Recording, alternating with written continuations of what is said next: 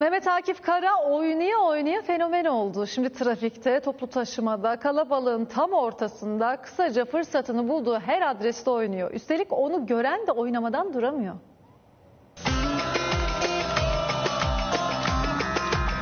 Oynamadan duramıyorum ya. Bunu aldık evde ya hiçbir yere gidemiyoruz. Biraz döktürelim. Ama yorulmuyorum abi. Beraber oynayabiliriz. Vallahi kızım olsa ben buna vermem ya. ana. Vallahi vermem. Bak yapabilir mi? Bana 100 milyar para versen ben böyle oynamam. Hem de oynamam gerektiğini düşündüm. Çünkü insanların moral kaynağı oluyorum. Bu benim için çok mutluluk verici bir şey. Kapı gıcırtısına bile ihtiyaç duymuyor. Onun için trafik, toplu taşıma, kalabalık fark etmiyor.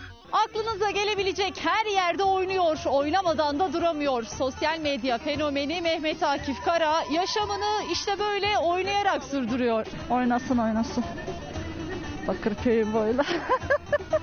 Çok güzel. Bu becerebilsem ben de oynarım da. ben- Gel gel gel gel. Allah, bura bayağı düğün salonuna döndü şu anda. Vallahi 80 yaşından sonra beni de oynattı. Yani bu benim ilk oyunum. Hanım da bunu hastanede biliyor. Hava mendillerim var yanımda taşıyorum. 7-24 oynuyorum yani hiç durmadan aralıksız. Böyle. Çok hoşuma gidiyor. ya olabilir. Normaldir. Ben de severim normalde oynamayı ama. Çok güzel. Keşke ben de böyle oynayabilsem.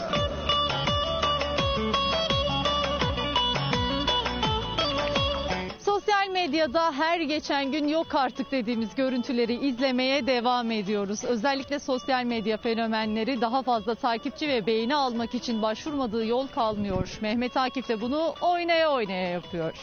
İçinden geliyor. Çok iyi yani enerji dolu. Çok hoşuma gitti açıkçası. Benim de oynayasım geliyor. Çok güzel oynuyor.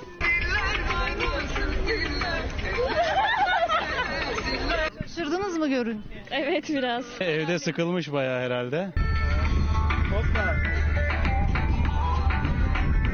Hem oynuyor hem de video çekiyor. Oynamak için ilginç noktaları seçen fenomenin videoları sosyal medyada izlenme rekorları kırıyor. Abi size de bulaştı. Öyle. Çok güzel değil mi ama? Oynamak bulaşıcıdır bence. Halay candır. Size de bulaştı. Bize de bana. Evet bana da bulaştı. Efendim öyle ilginç ki Mehmet Akif'in enerjisi herkese de örnek oluyor. Onu gören oynamadan duramıyor. Böyle oynaya oynaya nereye kadar peki? Benim e, en büyük hayalim oyuncu olmak.